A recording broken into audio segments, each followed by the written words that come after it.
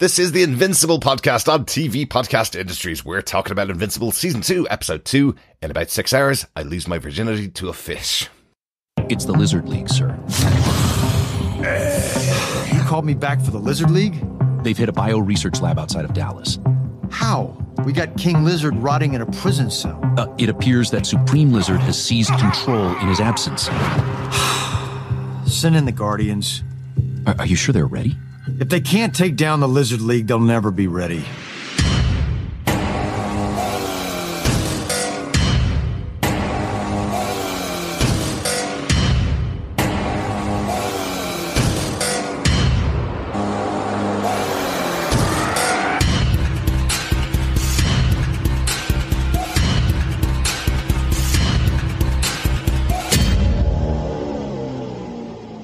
Welcome back, fellow Guardians, to the Invincible podcast on TV Podcast Industries. We are on to episode two of season two of Invincible. In the best named episode so far, in about six hours, I lose my virginity to a fish. I am one of your hosts, Derek, and we have a very special guest um, for this podcast. John is joining me for this podcast. I know you said you wanted to maybe hop in for an episode of Invincible, but I don't think you thought you were going to be a replacement for Chris and a last minute one at that. No, no, I didn't. But welcome uh, and hello, fellow Guardians. Yes, a new voice, a voice that knows nothing about Invincible. Although I have enjoyed watching it, but Yes. uh, I can't say um, I have too many notes on this episode. Uh, Mm-hmm. but enjoying the ride of Invincible. and you have watched every single episode. I have absolutely, yeah, and a great title for the the episode. Although it doesn't transpire. It doesn't. It doesn't. But he does believe Thank- that's yes. what's going to happen to him. Yes. Definitely. He does think that is going to happen. But for, Gosh. But for those of you who don't know John, if you haven't uh, heard him, because you may just be listening to our Invincible podcast, John is our main podcaster who's been on the podcast for TV podcast industries for almost 10 years now, uh, just over 800 episodes, John, Yes. um, at this stage. It is. Yeah. So, hello everyone, uh, fellow Guardians. Uh, it's the first time I've ever said that. Uh, So, yeah, really good to be on the, the show. And hopefully I can contribute something for Invincible.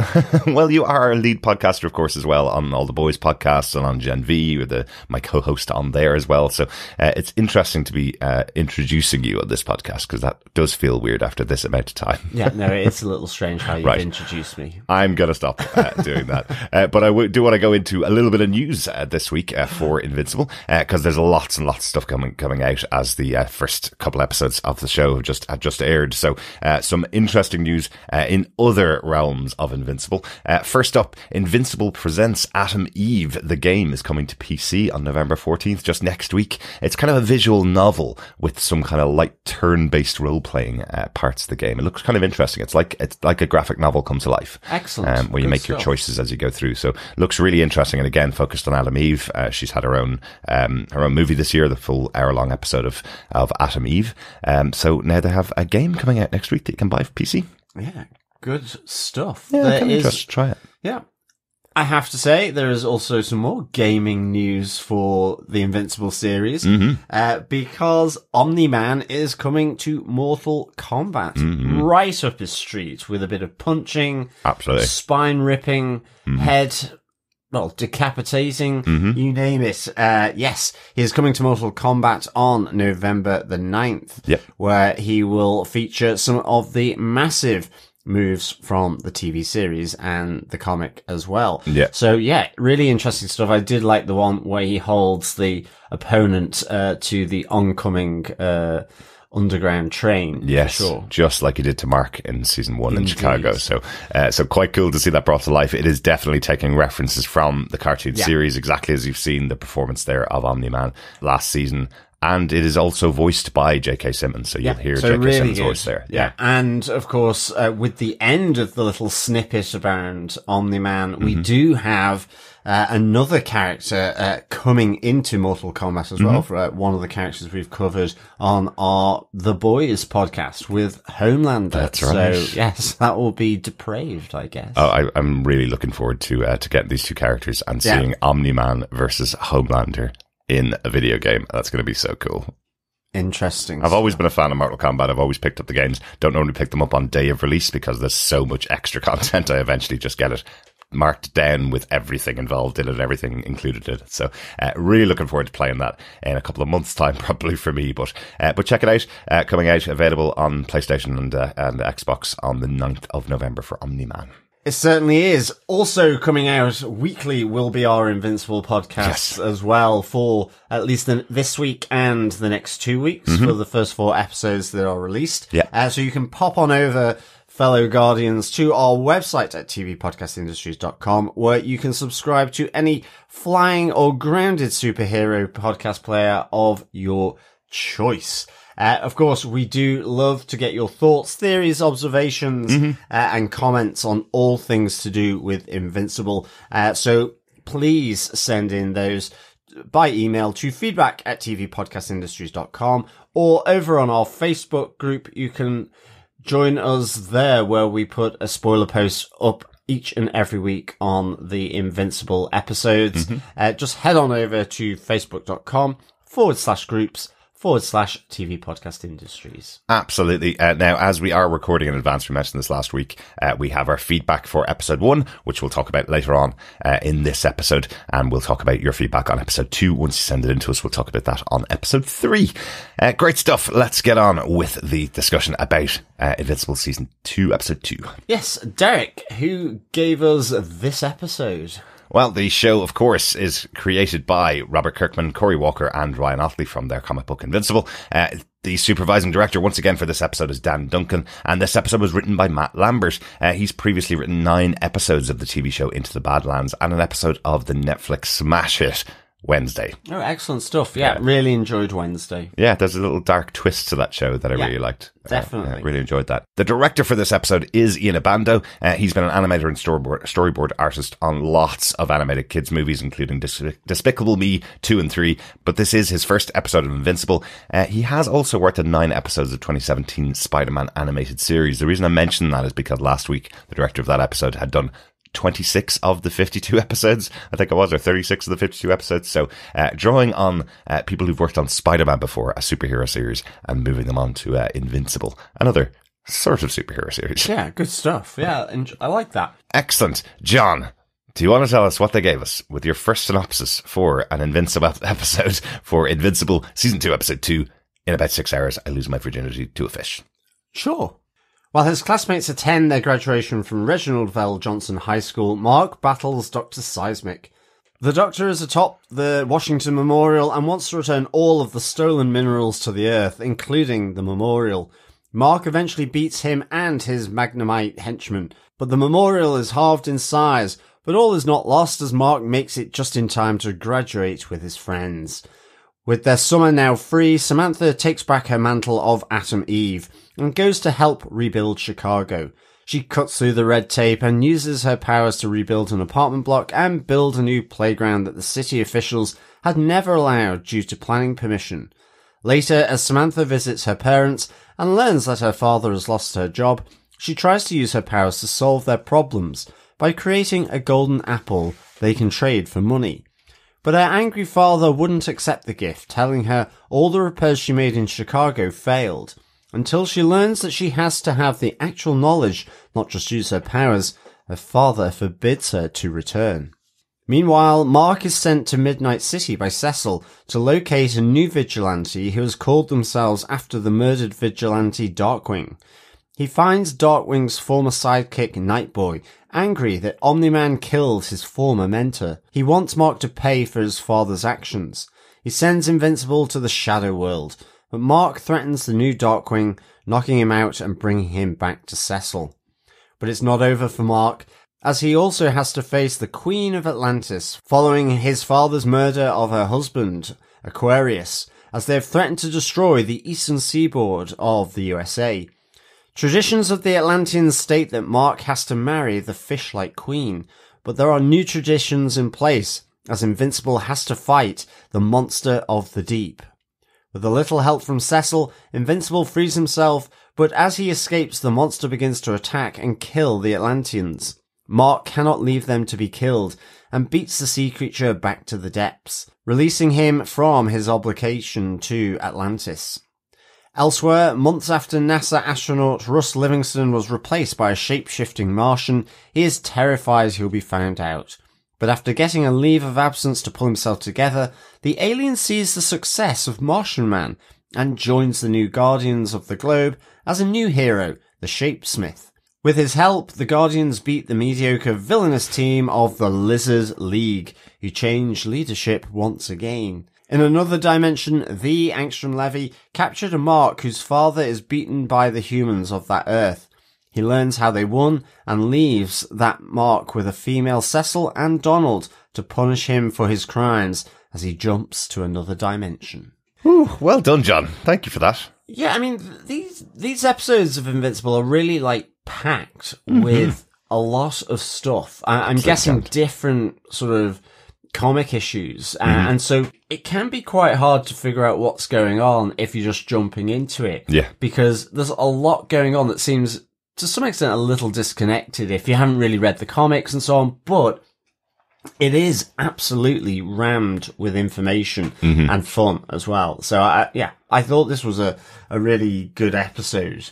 Uh, and I, I'm really enjoying just the animation anyway. I love season one and so far, you know, this is, yeah, just the second episode, but it's got a really intriguing sort of kick-off point to it. So Yeah. I'm really enjoying it. Absolutely, and one of the, one of the things I really enjoy about Robert Kirkman's uh, storylines is what he does is set up something and then pay it off. You know, months months down the line in his comic books. Um, this seems to be the same with Invincible. Chris is our Invincible fan who's read all the comic books, uh, but it's it is definitely what he did within Walking Dead, where he'd set something up and then it would come back Yeah. a couple of years later. It would suddenly pay off.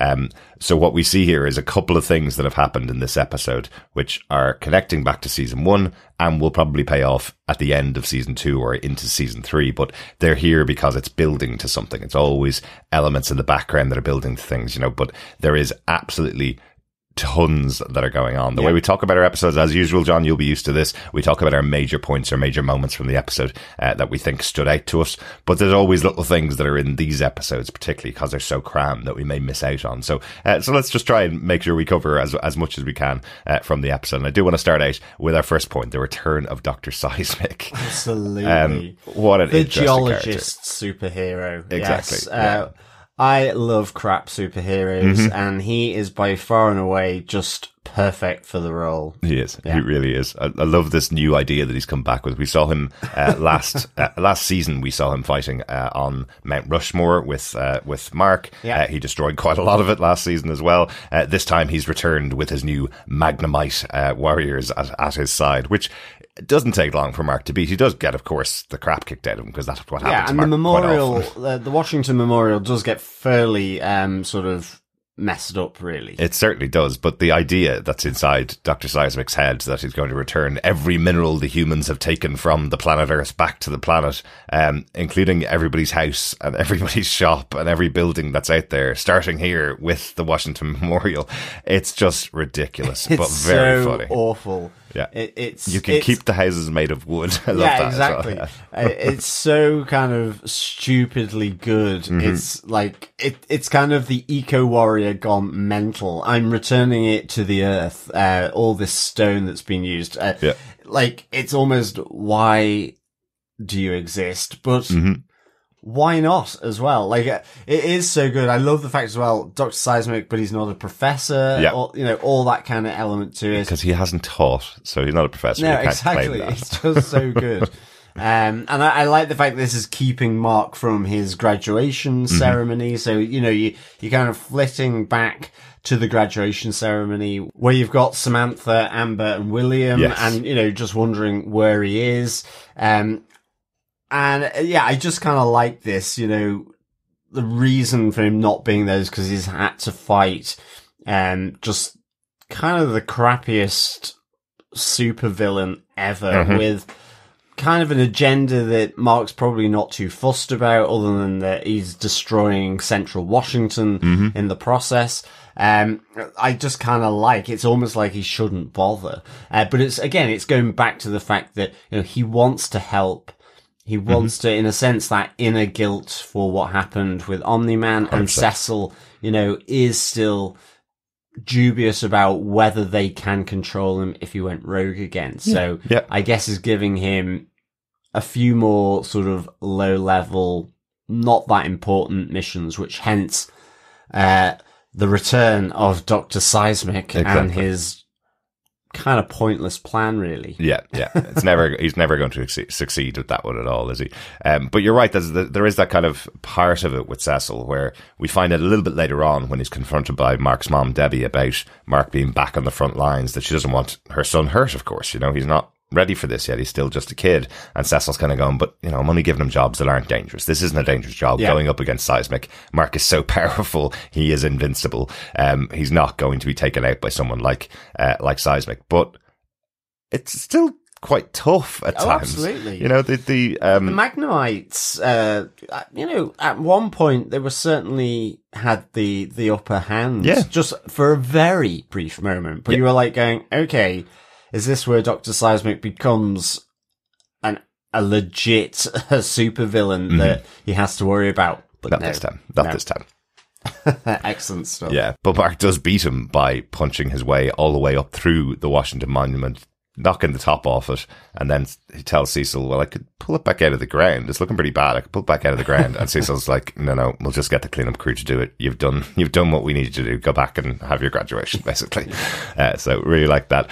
Um, but it is great to see Dr. Seismic back. It is good to see all these characters again, even the worst characters from season one. Great to see them back in season two. And, you know, yeah. just little appearances from them. It keeps, you know, it keeps um, them interesting as well and seeing what the, what they're doing. So, uh, so good to see a moment with Dr. Seismic here. Uh, I'm going to move on to p- point number two because as Mark goes back, graduates from high school, a big moment in anyone's life, as they say. But Mark has kind of moved on in his, in his own mind. He's already matured. He's way beyond high school. We saw that he's going off to college with Amber uh, next year. But there's a moment here where we have um, all of his friends together at Atom Eve's place. Samantha, Amber, and William and Mark are talking about their plans for the summer. I just thought it was a really funny moment when we have William, uh, Mark's best friend, who's always trying to get Mark to uh, take him on flights around the city, and Mark's kind of refuse now. Much more serious as a superhero. Yeah. And William's entire plan for the summer is to find the trashiest of reality shows and watch it twice. That's it. That's his whole plan. Uh, Amber is going to be uh, burying herself in um, in uh, local uh, elections, I guess, uh, for the comptroller. That's her. That's her plan for the summer. Uh, everybody The says it's so boring. Yes, yeah.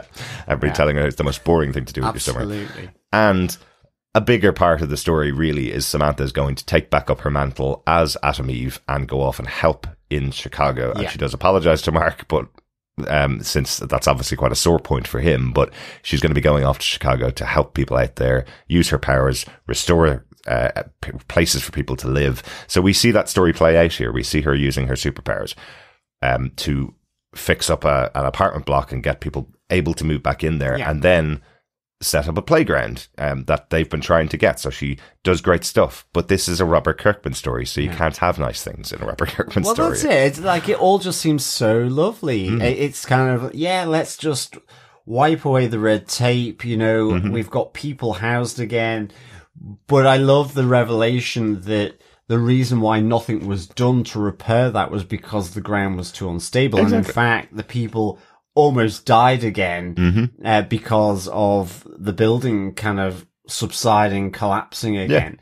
Uh, and this all plays out with her father as well as she's back home. Mm-hmm. Uh, you know, and I mean, like you think about it, is it, this is cool. Okay, you know, I could just create golden apples all the time and I'm a millionaire or something. Uh, but like her dad's point is it's all too easy just to say my superpowers will be able to fix that. The problem is it needed more than just what she did. It- Absolutely. you know, You need to be a civil engineer and an architect to build a building. You can't just uh, click your fingers and uh, make it look look like a building, which is effectively what uh, uh, what Atom Eve did. And if we thought that her father was bad in the first season and Oh, in the Atom Eve movie, um, think about what's happened to him here. His head office has been destroyed in the battle that Mark had with uh, with his dad, with Omni Man, um, which has led to him losing his job, and he's now working in Burger Mart blaming people with superpowers for it, which includes his own daughter. Um, Yeah. who in his mind is taking the easy way out, is using her powers rather than getting training, rather than getting a job like he had to, to work for. So he has become even more of an a-hole in these scenes. You see his poor, his poor wife who tries to reach out to her daughter Samantha, telling her, you know, I'd like to see you. But underneath it all, finding it very difficult to survive on the kind of wages that he's bringing home now and keeping the upkeep on their house, that kind of stuff. So Samantha knows there's something wrong here with her mom, but she can't get it out of her and only finds out afterwards in the worst way from her father, who's telling her, until you learn, you need to develop the skills to use your powers or develop some skills and get a real job. You can't come back home to this house. Yeah, I mean, it, it's just the great Kirkman thing that he mm-hmm. does, which is to say, you know, everything else, they just do whatever they do and everything's back to normal. Yeah. This is the aftermath. This is, it's not as easy as just using your powers, which, you know, her father has that point, really. Mm-hmm. You know, he makes that valid point. He is an a-hole, absolutely. Yep. Um, I don't know whether I would have, uh, p- turned my nose up at the golden apple, Mm-hmm. however, um, all the groceries and everything else that she was willing Yeah. to sort of just bring out of thin air. But nonetheless, it's like, you know, I guess that's his pride. That's his 100%. position. So yeah, really a strange and kind of relationship here between this family. And even though they at least do kind of talk to one another, even though it's not pleasant, but it's kind of like, it's a real tense family atmosphere here that really comes through. And I mean, ultimately, she is kind of banished from mm-hmm. the house until she kind of, in a sense, it's like him saying, until you grow up. Mm-hmm. Uh, but we'll have to see how that plays out. You know, I'm- I'm not entirely sure where this is going. It feels very different to a lot of the other stuff. I mean, Absolutely. I do like with Mark and his mom, their relationship mm-hmm. and so on. It's interesting. It- It'll be interesting just to see where this goes and what it's to do. But I mean, as you say, it's coming through from the, uh, Atom Eve, uh, spin-off and, you know, it's an interesting sideline, I think, here. Absolutely. Absolutely. Because kind of, she's kind of taken herself out of all of that superhero thing, and because we see them in her treehouse, you know, it, she, she she's kind of wants to be a part herself. So, um, yeah, I guess it's looking more at the character of Atom Eve and, and what she's doing. Exactly, exactly. She wants to stick away from that idea that she has to just go out and fight supervillains and and uh, and beat up people that are robbing banks, that kind of stuff. She wants to use her powers to bring joy to people. And of course, as I say, it's a Kirkman show. Uh, can't can't get away with it that easily. I doubt you'd ever have the Avengers rebuilding uh, someone's house and then it falls down on top of them and, and could potentially have killed them. I don't think that's the way it works. So uh, Kirkman, of course, having his own uh, spin on that, which I really like. Will we move on to point number three, John? Yes, uh, Mark pays for his dad's mistakes. I love how they've incorporated this into the second season. Um, this is all paying off from the big reveal in the first season of uh, Omni Man um, killing all the members of the Guardians of the Globe uh, that he could get his hands on. Uh, anybody that he could kill, he does kill. Um, leading on from last week, we saw Red Rush's wife, who uh, Red Rush, of course, also killed by Omni Man. We saw his wife uh, coming in to talk to Debbie about how much her life has changed after um, he killed all of the Guardians of the Globe. This episode, we have two different people who've been massively affected by the murder of uh, the the uh, the Guardians of the Globe. First off, we have Mark going to Midnight City, uh, being sent to Midnight City by uh, Cecil because there has been the reappearance of Darkwing, this world's version of Batman, and uh, Midnight City being this world's version of Gotham. Uh, I do love uh, some of the jokes in here about uh, about this city. The idea that it was uh, it's under a spell, so the minute you arrive into it, it's always night. so uh, a, a great explanation for why in DC, Gotham's world is always a dark world, uh, fill, filled with the Dark Knight. So uh, here in this world, we have uh, their version of that of that vigilante Darkwing here, uh, living in the darkness at all times. But it turns out that it's actually Darkwing's former sidekick, not a sidekick, we were partners, um, Night Boy, uh, who's taken on the mantle of Darkwing and, and trying to live up to the legacy left behind by Darkwing. Yeah. I mean, again, Invincible dispatches him pretty quickly, you know, and, hmm. but I, I like how that kind of almost mystical element came in here mm-hmm. where, you know, it, it certainly puts him off balance, I think, in, in that moment. I, hmm. I love the Batman references. I love, yeah, we, I wasn't his sidekick. I, w- I was a partner, you Yeah. know, really playing into the Robin and Batman, uh, element of this. Mm-hmm. Yeah. And I, I kind of like how, you know, he's paying for the crimes of his father uh, and the murders that he did there with the original Guardians. Yeah, Um, yeah. Again, like you say, it's just how this is all going to play out. Mm. Um, because he brings him back to uh, Cecil. So, Yeah. you know, is that for him to kind of try and enroll him into the new Guardians? Is that just to lock him up? You know, what kind of, you know, the, the menace that he's been doing, if he was, you know, the partner, the sidekick of Darkwing, you know, why has he suddenly gone rogue? Or was it just to take someone who had a vendetta against Mark off the board? Because that would ultimately, um, interrupt, affect any missions that he would have to go on Yeah, uh, to Cecil. So it's kind of an interesting one. While I wasn't entirely sure why it was happening. Yeah. it'd I- Mm-hmm. be interesting to see why this is, or whether it was just the setup ultimately for the bigger Atlantean one, uh, where Mark managed to still keep um, hold of his aquatic cherry. well, I suppose one of the things about it is that Cecil is saying this person is pretending to be Darkwing. We know Darkwing's dead. Can you go and check and make sure he hasn't come back from the dead or something? You know, that's that's part of it. But more interestingly, in the battle itself, it's the threat from um, Darkwing Two, uh, as like as he's called in the comic books, uh, to Mark, where he's saying to him, "You did all this. You're your father's son." Yeah. And Mark tries to protest against it, saying, "I'm nothing like him. I'm I'm a human. Um, I'm half human at least. Um, I'm a hero, not like my father." And then when Mark is sent to the shadow world by uh, Darkwing Two this uh, other dimension almost that is is there in uh, in Midnight City. yes, he is threatening. yeah, he pushes back against against um, Darkwing to saying to him, "I am my father's son, and I will kill you, just like my father." Do you do you doubt that I will do that? So Mark uses the um, impression, I suppose, that Darkwing Two has of uh, Omni Man in order to get out of the situation. So he is using that connection and Yeah. how scared someone could be of someone that murdered their mentor. But I love this conflict within Mark that, you know, Mm. he is worried about it, but will there come a point where he accepts it? Mm. You know, we haven't seen Omni Man return back Yep. to Earth yet, but what will happen when he does? Mm-hmm. Because, you know, at the end of season one, with him saying, you know, you're my father with his face caved in by his father, Mm-hmm. Yeah. then it's like, you know, he obviously loves him. So this inner turmoil, this conflict about, you know, whether he's going to turn evil. And I mean, it's, it's that classic superhero tale, but it, you know, it's, n- it's his inner turmoil. It's Cecil's turmoil and, and doubts about whether he should be even bringing, bringing him back into the fold.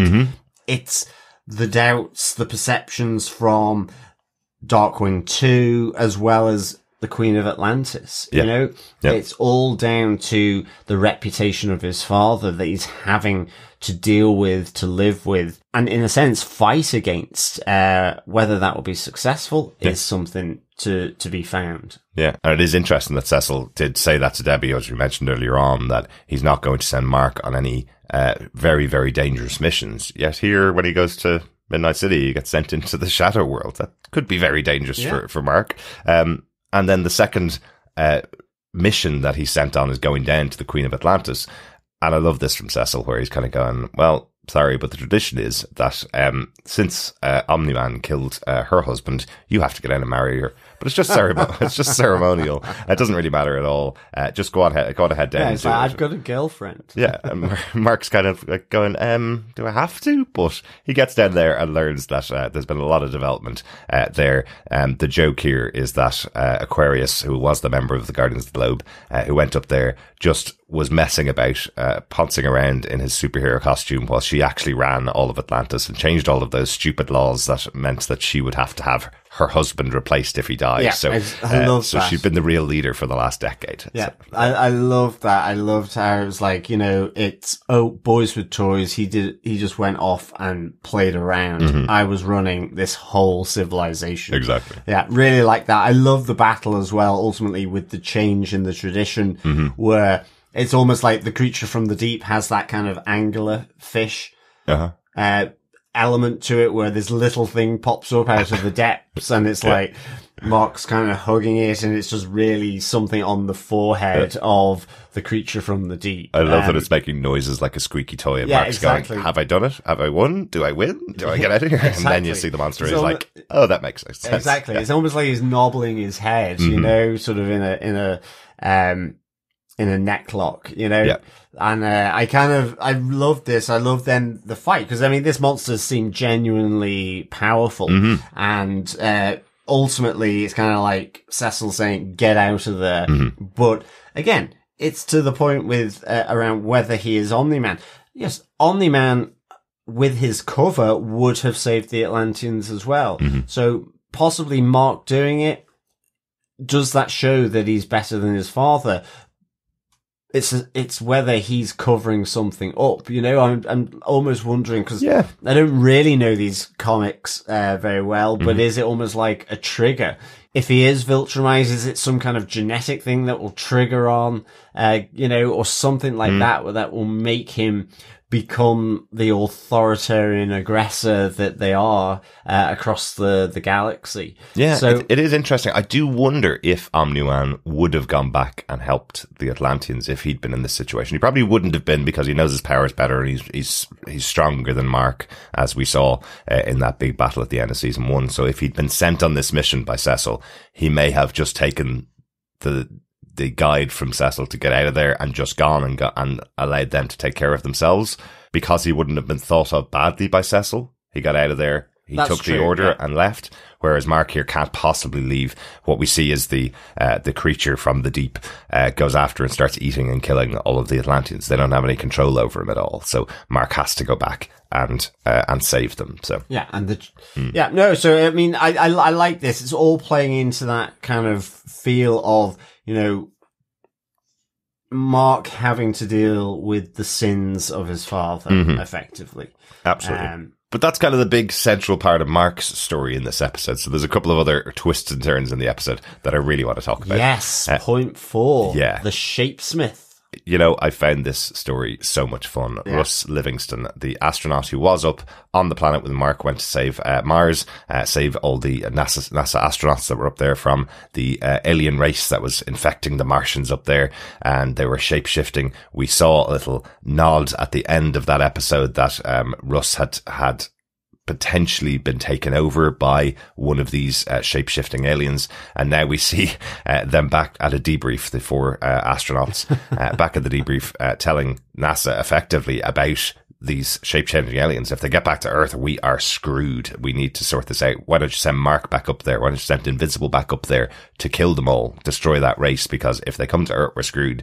And russ in the corner kind of going pretend, still pretending to be human, hoping not to be found out about it, and then saying he needs to go to the ejection room to urinate, something, something along those lines. So he's not even able to speak like a normal human. He's still learning everything about the body, everything about what's going on. But It's the same with his landlady Mm-hmm. as well. He, you know, he's not paid the rent because he doesn't know that he should be doing that. Exactly. And she goes, "You need to give it me by the end of the week, or or you're out." And he's Mm-hmm. kind of like, just doesn't compute with him Exactly. at all. Yeah. Uh, so I, yeah, I like this. Dare I say it? Fish out of water, a Martian out of Mars. Mm-hmm. You know, I kind of really enjoyed that, and I love just the the little hint. You know, that that glimmer of connection that he feels he could belong here, Mm-hmm. uh, where he sees this anniversary TV special of Martian Man, Mm-hmm. um, and so another one of the Guardians of the Globe Yeah. murdered by, uh, by Omni-Man. And so, you know, he, he totters down to, to join the new Guardians of the Globe, uh,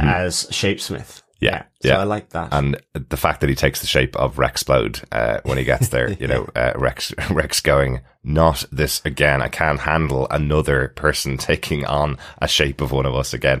Uh, really good fun. Uh, also, what's great fun here is the the Lizard League. Uh, Oh, this absolutely, absolutely. useless version of, I guess, Hydra. yeah, that's Um, exactly what I thought. This yeah. is Hydra. Yeah, it- Oh, the, is. the voice acting for the, the new leader of Uh-huh. the Lizard League, who ultimately gets shot at the end. he does uh, by bullet, the bullet king. through the head. Yeah, yeah. Uh, was so so good. You know, It, I loved it. It did feel just like a complete. I just loved this rip on uh, Hydra. It was so good. Absolutely. We the whole bit of we aren't a joke, no matter what it says on social media.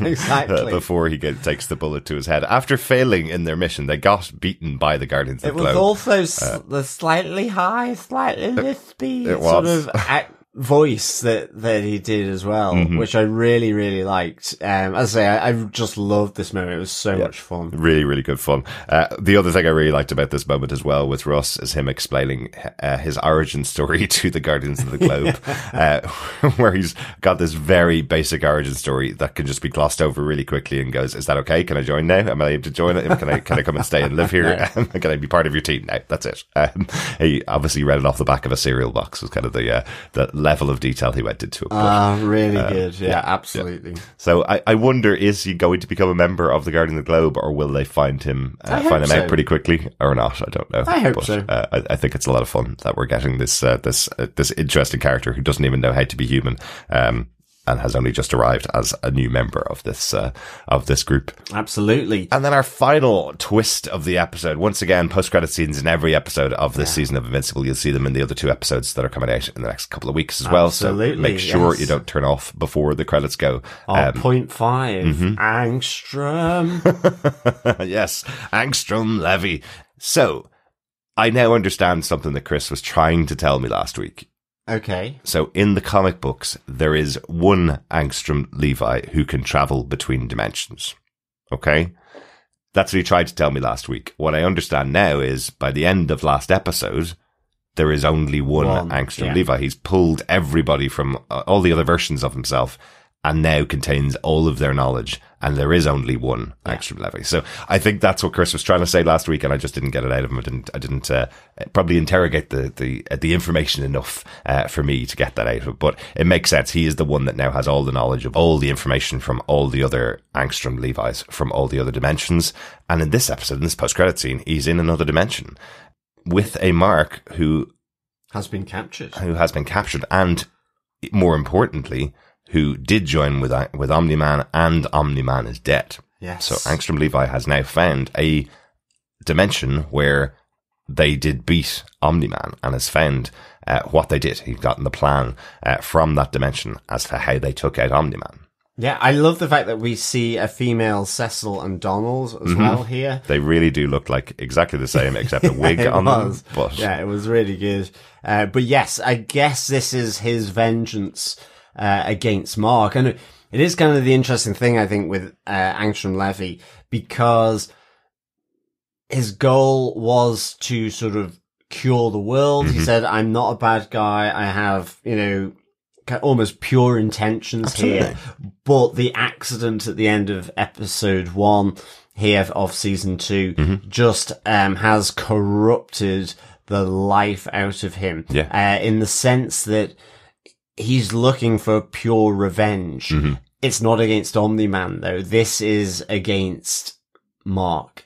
It's against both of them, but it's it's because of that accident. You know, Mm-hmm. he is committed to destroying Invincible for what he did. Yes. You know, not only in terms of the disfiguration, which he seems to have kind of like put over a massive hoodie to, to cover it up, but also, uh, because of what that plan entailed, which was to find all the technologies Mm-hmm. for curing cancer, climate change, all this kind Mm-hmm. of stuff, the best of the different dimensions Yeah. in order to advance um, and you know create galactic peace in a sense. Yeah, and, and also bring it back to the prime dimension, fix everything in the prime dimension, and then start spreading it back out. That philanthropic goal that he had to spread it all out across all the other dimensions after he got it to Yeah. the prime dimension, uh, which he can't uh, do now.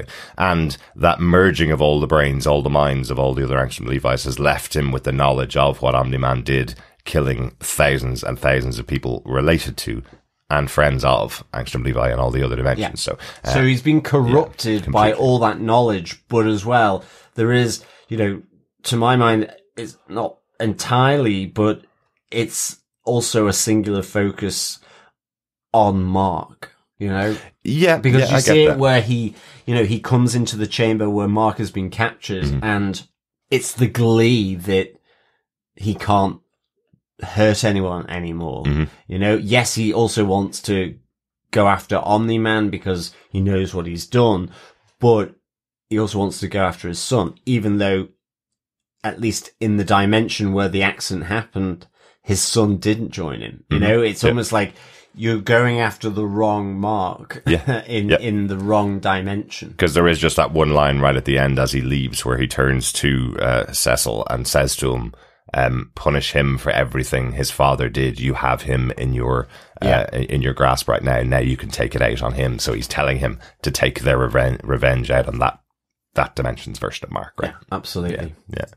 Good stuff, but another interesting build up of this character of Angstrom Levy uh, as he starts to become, I guess, at least this this season's uh, bigger bad at the moment as it starts out. It could be all resolved uh, by episode four, but uh, but right Yeah. now it does seem to be building up um, to a big a big showdown as he learns all this information that he could take out Mark with. Yeah. Yeah.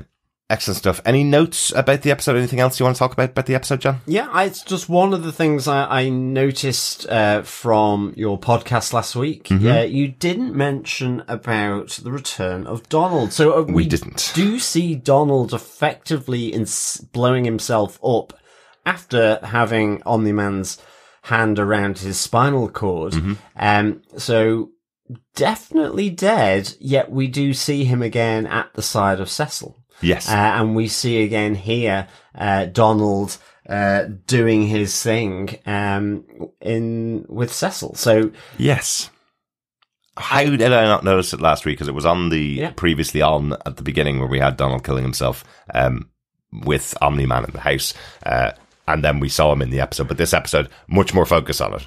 Um, we see Debbie uh, seeing him alive there. Debbie Yeah, was across the other side of the road. She knows he died in that explosion. Questions it, and Donald seems to not understand No, he doesn't. that he's dead and back again. yeah. So, And Cecil's kind of like, "Shh, don't tell him," yeah, or no, something exactly. like that. so yeah. interesting. Yeah, Yes. that's uh, why is Donald Cloning back? technology, I would say. Yeah, why is Donald coming back? Hence Uh, the dodgy wig on the one in, uh, the other dimension. Yeah, possibly, possibly. Um, but yeah, why is Donald back, and why is he able to come back, and why does he not know that he died uh, last Maybe season? Donald is the key to the destruction of Omni Man. He just keeps on coming. Maybe that's it. Coming Just back. The, the, the way to beat Omni Man is to never die, I guess, or to die and come back. I guess that, that might be it. But I just, yeah, it's uh, it's it's one of those things. As we said uh, at the beginning of this podcast, so much goes on in these episodes that uh, we're going to miss bits and pieces uh, of it. But um, but yeah, I, I'm surprised we forgot to mention that uh, Donald had come back from the dead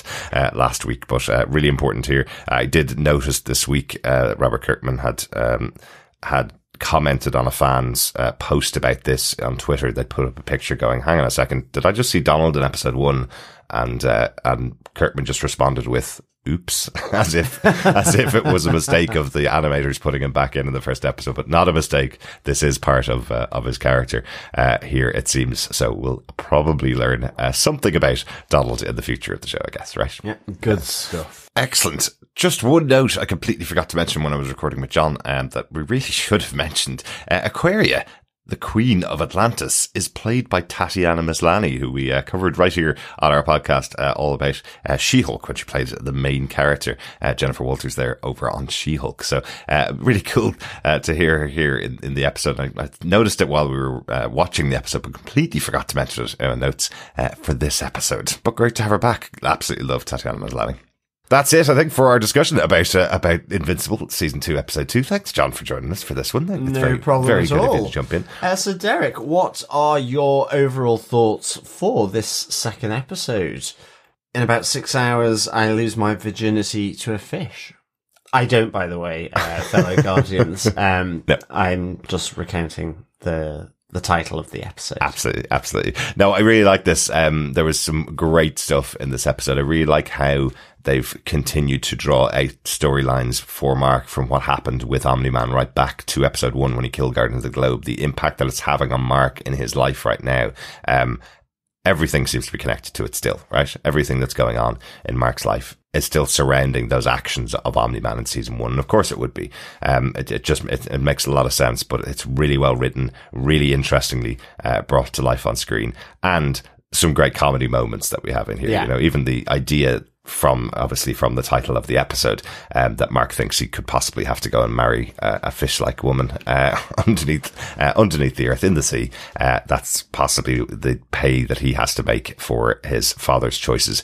Um, I thought that was really funny uh, and really a really interesting choice for how the series is written. So uh, another great episode. Some really interesting build outs there with with Doctor Angstrom, with this um, shape shifting Martian, and him joining the Guardians of the Globe. Def- yeah, and of course the Lizard League was also great fun. But again, with this show having the storyline of what's going on with Samantha and her parents, you know, that's something that you wouldn't see in, in other shows. Last week we talked about Debbie and her experience of mourning and loss and anger Yeah. and how that was treated on the show. Really interesting and very different for even an adult, um, an adult animated show.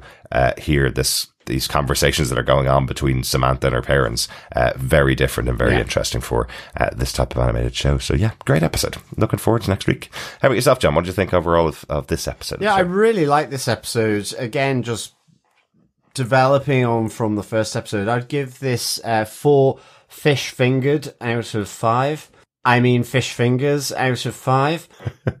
I almost choked on my water there, John. Excellent. like I, I, I really enjoyed sort of that central thrust, and I, I of Mark dealing with Omni Man. I'm really still enjoying that. Um, I just loved all the additional fun bits around it from Doctor Seismic returning. I think Russ Livingston and his awkwardness in. Yes. Uh, with the sh- with the, the the Martian inside having to deal with this new surrounding that is called Earth and all their customs. Uh, the Lizard League was just hilarious. I just couldn't stop laughing uh, about that. I just thought the voice acting made that little scene. was very cool. Uh, it was Yeah. so good. Um, yeah, I, you know, everything is just fantastically done here. I'm really, really enjoying it. And I, I think, you know, with Angstrom Le- Levy, you know, I just get the sense of a really, really good nemesis here for Mark. Mm-hmm. Yep. Um, and I just can't wait to see how that plays. Yeah. You know, so yeah, uh, four fish fingers out of five. Excellent, excellent. Yeah, I think with all the knowledge that he's getting from all the different dimensions and pulling it all together in a grand plan to take out Mark, it'll be really interesting to see how that plays out uh, as the season goes on. Excellent stuff. We have some feedback in on our first episode of Invincible Season 2, John. Uh, first up, we got an email in from Coffee and Vodka who says, Greetings, fellow mind melded defenders. A good start for a long overdue Season 2. It was nice to see that he remains anything but invincible, especially going up against the Mauler Bros. Which one would have thought we're easily beaten? The other dimensional father and son team up made for a great fake out at the beginning of the episode. All the characters, especially Debbie, seem to be fully formed rather than just there to motivate Mark. My one hope is that Kirkman stops seeing this fantastic show as a side project to his many Walking Dead projects and steps up production. In the meantime, looking forward to the rest of the eps as well as your coverage of them. 4.5, two-face maulers, boorish bullies, and pissed off pacifists out of 5. Peace and take care. Coffee and vodka. Excellent stuff. Great Uh, ratings there, Coffee and Yeah, vodka. again. thanks, coffee and vodka. Yeah.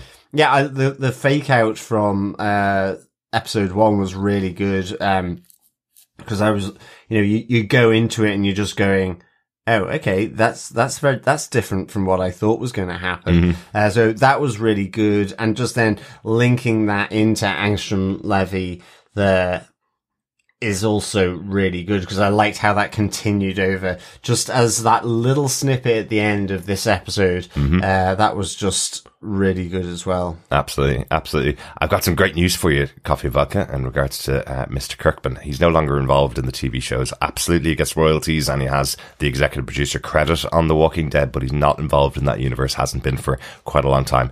Actually, because of a court case that he took against AMC after about season three of the show. So, um, so he ha- he was involved over there. Of course, they're based on his comic books. He does get royalties, but uh, he is entirely focused on his comic book projects and Invincible. And even better news, the show has been confirmed for a third season, which means the animation studio are already working on the third season at the moment. So even though we're getting four episodes this year, four episodes next year, hopefully early next year, uh, for this season two, season three is already in the works. So, uh, so don't worry, lots of Invincible left to come, thankfully. and in much more rapid succession as well, which is great. Yeah. Thanks, Coffee and Vodka. Uh, over on Facebook, John Bucket says, Welcome back, Invincible. I did not expect Mark to fall in with Cecil so quickly. Yeah, that was an interesting choice, wasn't it? Um, you know, I I think it's kind of him trying to prove himself that Yeah. he can work for Cecil, and part of it is if he goes and works for the person who was his, for, his father's former employer and does the heroic thing, that means to Mark that he's not like his father. I think Exactly. that's part of it. For and. I think, you know, the, the, the- the reverse of that is true is that Mark may expect or think he's fallen back in with Cecil. Mm-hmm. I think Cecil has very different ideas that he has. Um, you know, this is still a test bed very much for Cecil. Mm-hmm. Possibly any sniff of something slightly omni, then, Mm-hmm. you know, Cecil could be a very different proposition That's um, true. than Mark thinks. that's true. Good stuff. Thanks, John. Thanks, John. We Uh, also got some feedback in from Dr. Bob Phillips, who says, I did not see that coming. Roughly sums up my view of this episode, but with admiration, not regret. Biggest highlights were the alternate style and gender expression of the maulers in the multidimensional mauling massacre, and the in-credit styling of a survivor Ahsoka style. But I also loved the sobering effect of child injury on a drunk parent and still can't cope with C-cell as the mispronunciation of Cecil. Very good, Dr. Bob. Absolutely. Uh, finally, Sea cells, seashells on the seashore, Cecil. there you go. There you go. Yeah, two completely mis- uh, different pronunciations of uh, of Cecil and Cecil. Uh, thanks, Dr. Bob. Uh, finally, Dr. Bob says, I have a question. Angstrom Levy, is that a reference to the measurement of astronomical size and Schitt's Creek as well? it could possibly be.